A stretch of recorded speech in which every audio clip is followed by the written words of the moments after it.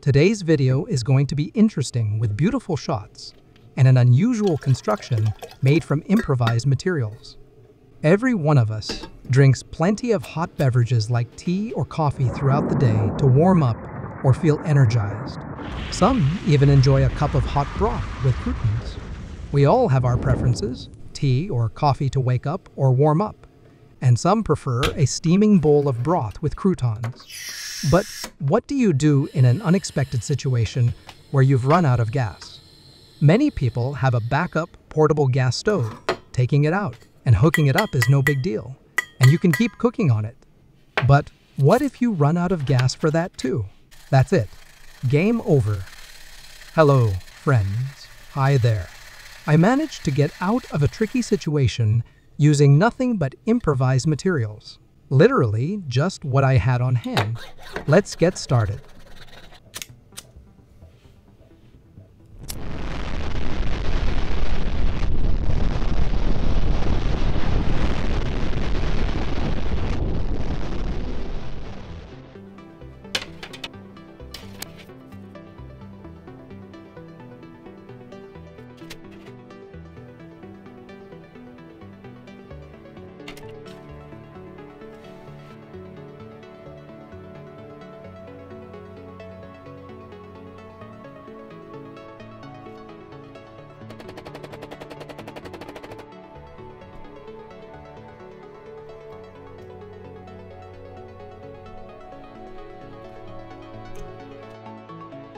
I have some pipes of various diameters, but I ended up using an old, unused pipe segment with a diameter of 3 millimeters that I was planning to throw out.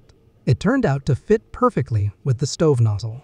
While it could have worked without the nozzle, since I had it, I figured, why not use it? As for fuel, I considered several options basically anything flammable I could find, even leftover motor oil from my snowblower. But I immediately ruled that out because of its smell and the soot it produces when burned, I figured I wouldn't want tea after that. Next, I tried charcoal starter fluid for grilling. Not a bad option, but its composition varies depending on the manufacturer. Some people go as far as pouring kerosene straight into a bottle. There's also purified gasoline, like the kind used for refilling Zippo lighters, but that has a slight smell too. Finally, I settled on eco-friendly fuel for bioethanol fireplaces. It's practically odorless and produces only water and carbon dioxide when burned. I have high hopes for it. After ruling out the motor oil, I tested all the fuels for flammability, flame strength, and ease of ignition. The first test was with the charcoal starter fluid.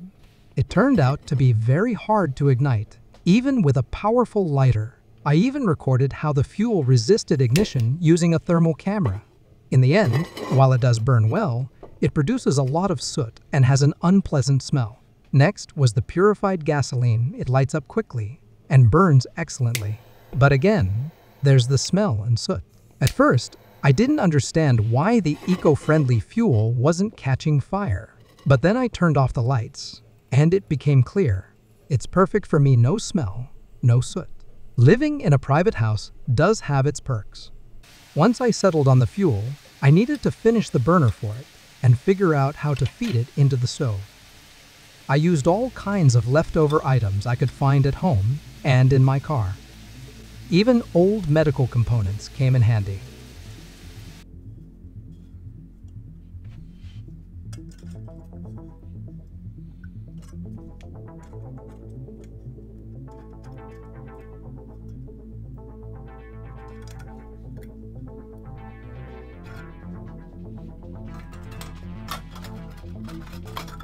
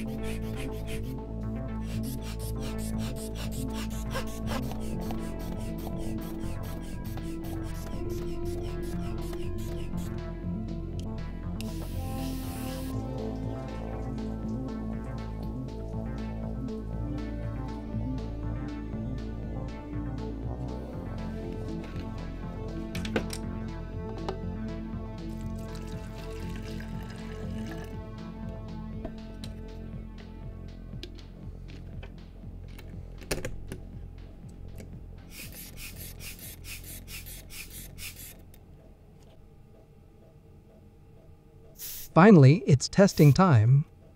To start, I poured a small amount of fuel into the burner to heat up the tubular vaporizer.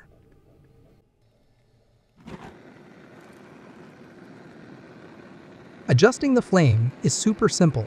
It depends on the diameter of the gas outlet hole from the vaporizer and how much fuel is fed in.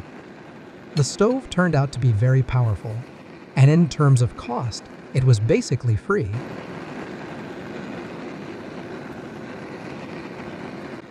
Friends, as always, if you liked how this project turned out, don't forget to give it a thumbs up. Let's discuss it in the comments as usual. Wishing you and your loved ones health and wisdom. Thanks for watching this video. See you on the channel. Bye.